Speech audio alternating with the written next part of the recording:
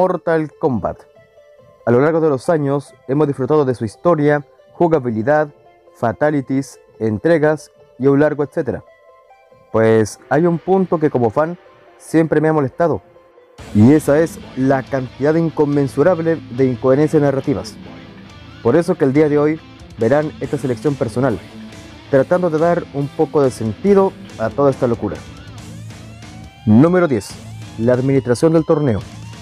Como todos saben, Mortal Kombat es un torneo de artes marciales y como tal debe de haber una administración. ¿Me explico?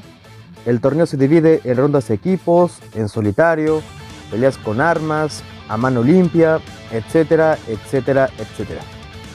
Aquí nunca se nos explica cómo recontrachupar ese maldito torneo. En sagas como Yu Yu Hakucho, la saga de Más Allá fue increíble porque se nos explicó desde el vamos cómo se desarrolla, las mismas películas como Bloodsport, El Dragón Dorado, Lady Bloody Fight, la remake de Karate Kid, entre muchos otros ejemplos. En cambio, Mortal Kombat. En la trilogía original, al parecer, eran todos contra todos. Solo el más fuerte logrará derrotar al subjefe que puede ser Goro o Quintaro, y luego al jefe final que es Shang Tsung o Shao Kahn. En la trilogía 3D no se entendió nada porque prácticamente empezó a quedar la más en requete en barra. Y nos olvidemos de Shaolin Monks.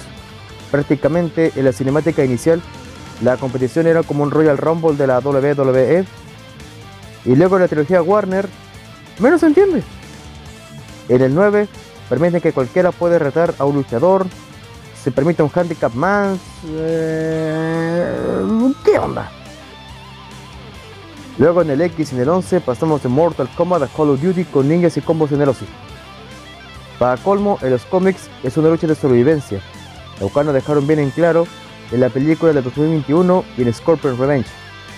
Aunque creo que las dos últimas películas animadas se entienden mejor. ¿eh? Número 9. La estupidez de Scorpion. Si bien el ninja especial Scorpion ha ganado una fiel fanaticada, hay que ver la verdad. Y es que hasta la llegada de la saga Warner, pucha, Scorpion era un idiota. Y saben que los Linkuya aparentemente habían dejado la mansa masacre en su familia y los Shirai Ryu. Pero, Scorpion, te pregunto, ¿no podías o que sea investigar un poquito más allá? No, confío plenamente en Quan Chi, claro, el tipo más legal del universo. Si bien me gustó que en el segundo juego haya perdonado la vida a Kuai Liang y hayan sido aliados, pues en el 3 no le interesaba nada ni nadie como dijo mi estimado Fede Lobo. Así que se pone a hacer cosas de niña espectral y pasar tiempo consigo mismo. Y en el 4, bien lo cité recién, confió en Quan Chi, casi mató a su ex aliado y para más que otro le soltó la pepa que él había organizado todo. A partir de ahí, Scorpion solo interesaba la... O sea, compadre, ¿no hay otra cosa en tu cabeza? Por lo menos si algo tengo que darle gracias a Warner, bueno, hasta el X tanto en el juego como en el cómic, porque no sé. Bueno, retomando, por fin se puso las pilas, logrando su ansiedad venganza contra Quan Chi, sellando la alianza con los Lin Kuei, hasta que llegó Crónica y lo arruinó todo. Lo bueno de todo esto es que su desarrollo en las tres últimas películas fue genial, dándole a Hanzo una nueva oportunidad de reivindicar su nombre y vaya que lo logró. Claro que te importa. Eso es lo que te hace diferente. Es lo que te hace mejor. Conozco el deseo de venganza. Es una enfermedad que se devora tu alma hasta que te conviertes en un monstruo lleno de arrepentimiento y dolor.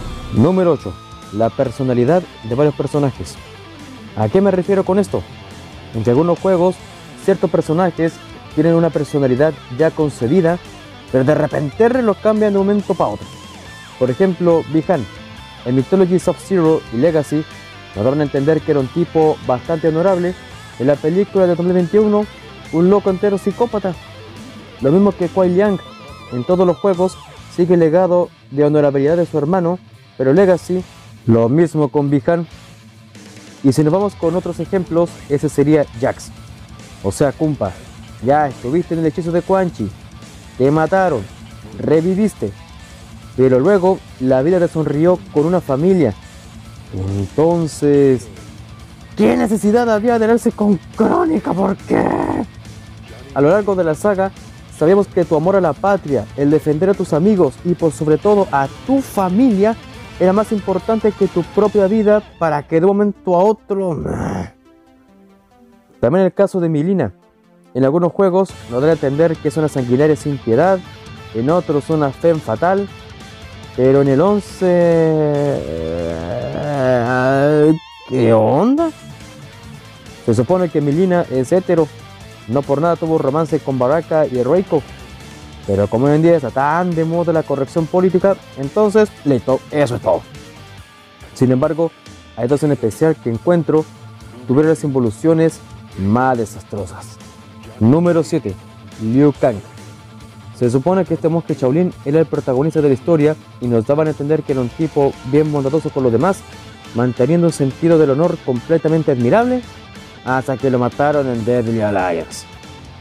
Luego, en un momento raro que nunca ha podido comprender del todo, el Raiden Darks intentó revivirlo y lo dejó zombie. Y como ya no sabían qué hacer con él, reiniciaron la saga y Liu Kang prácticamente era un jetón que no sabía controlar su ira, siendo transformado posteriormente en el rey del infierno y tras otra movida inexplicable se convirtió en el dios del fuego y el trueno. Y no nos olvidemos en Mortal Kombat Legacy, en mi opinión, el peor Liu Kang de todos. De un monje Shaolin que siempre veló por el bienestar de los demás, a un botado sin sentido que pa' colmo salió con los malos. Si bien no niego que me quedé con cuello de saber qué pasará la tercera temporada, que por cierto nunca llegó. Pero como dije, este Liu fue un desastre. Número que tuvo un excelente reinicio en las tres últimas películas de la saga. En serio, hoy en día encuentro mucho más sentido a los films que a los juegos. Número 6.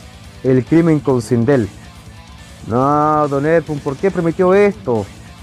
Supuestamente todo lo que conocíamos de la suegra fue todo un engaño. Prácticamente Sindel era...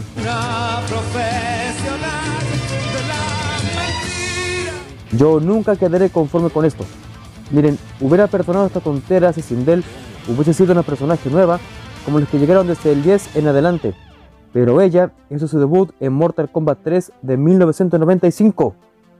Los cómics y la serie Legacy dieron otro vórtice de su origen. En Deception el 9, su final fue genial porque nos dan a entender que volvió a despertar y ser esa reina amable, gentil, cariñosa con su hija. No, ¿saben qué? Como no se nos ocurre nada para la señora esta, dejemos todos estos argumentos y lo tenemos todo para Chuña y dejemos que Nafterman sea una abeja malévola, ambiciosa y listo. Nos lavamos las manos y digamos que siempre fue mala. Número 5. El origen de Kitana y Milina. Ay, señor. Estas dos waifus, sí, por alguna razón Milina igual es considerada waifu por algunos gamers, han tenido tantos enredos en su respectiva historia para saber cuál por la rechuata es el argumento real. En los cómics, Kitana vivió toda su vida en el Outworld hasta que este reino fue tomado por Shao Kahn y de ahí crearon a su hermana para crear a la hija auténtica. En la saga original y el Legacy nos muestran que ambas se crearon como hermanas después de la conquista de Denia y las mudanzas del Outworld con su nuevo Taita. En Conquest prácticamente una tipa descontrolada que fue reclutada por Shao Kahn llamándola su hija definitiva y luego en el 9 Milina fue creada en los pozos de carne mientras se llevaba a cabo el torneo en el Outworld. ¿Se van a decidir cuál es el argumento real? Pues si me lo preguntan a mí, tiene mucho más sentido de lo que vimos en el cómic y parte de lo que se vio en el argumento original. Número 4. Personajes nuevos en eventos pasados. No, no, no, no, no, no, no, no me vengan con chivas de que fulano de tal si estuvo en esta parte de la historia ya que simplemente no tuvieron el tiempo y presupuesto para incluirlos. Lo único que provocan es más enredo narrativo. Por ejemplo, el emperador de World sabíamos que era Shao Kahn, pero luego en la trilogía 3D nos enteramos que Onaga fue el rey y que luego fue envenenado por este otro. Y ahí fue donde ni les importó lo que vimos en el cómic Titana y Milina. Es más, nunca se mencionó el rey dragón hasta Deception. El caso de Deborah no lo cuento porque la tema me carga. Pero si hablamos de Kotal Khan, nunca se habló de este sujeto en la línea de tiempo original de la saga. Recién lo conocimos en los cómics de Mortal Kombat X y por supuesto en las dos últimas entregas. Pero de ahí, que su pueblo fue dominado por Shao Kahn y que luego de su muerte comenzó la guerra civil siendo Kotal el soberano del Outworld, ¿cómo se entiende? Se supone que nunca lo hemos visto hasta ahora. Lo otro, ¿de dónde salió que Shang Tsung toda la vida fue sirviente de crónica y que él creó la corona esa que es más incoherente. O sea, con todos esos poderes, literalmente Shang Tsung ya debería ser un dios antiguo por lo que logró, cuando se supone que este compadre no era muy hebroso que digamos. Ejemplos, cuando reconstruyó a Cabal lo dejó como las reverendas. Al crear a Milina, en vez de dejarla exactamente igual que Kitana, eh, ya sabemos el resultado. Por eso decía yo en mi otro video dedicado a esta saga que Quan es más habilidoso que este. Sin embargo, hay algo con el que quisieron sacarse los pillos y ese es el número 3. Los finales arcade eran premoniciones de crónica. ¿En serio? ¿Van a seguir tratando de dar sentido a una villana que fue una completa inepta? Insisto con la premisa que poseía que era una titán, guardiana del tiempo y la arquitecta del destino, su plan fue tan imbécil que sacaron un puesto en mi video de los villanos más idiotas para que luego me salgan con esta excusa barata. No traten de tapar el sol con un dedo. Los finales arcade eran para ver qué pasaría si tal personaje ganase el torneo, nada más. Pero no. A veces pienso que están bastante enamorados de Crónica, así como los de Star Wars con la Rune. Número 2. La corrección política. Si bien esta no es una incoherencia narrativa, sí lo es con el equipo desarrollador, ya que ahora, y lo cito textualmente, nuestro diseño es cada vez más maduro y respetuoso. No vas a usar un bikini para una pelea. No vas a mostrar tanta piel. Creo que eso es lo que trata el juego. Vas a luchar por tu vida y no vas a usar tan pocas prendas de ropa. Hello, desarrolladores. Si tanto que están conscientes de lo que significa Mortal Kombat, entonces debieron hacerlo desde el principio, ¿no? No. Dejaron a las chicas como unas sex symbols y ahora recién se pusieron las pilas. Me da risa y a la vez rabia su completa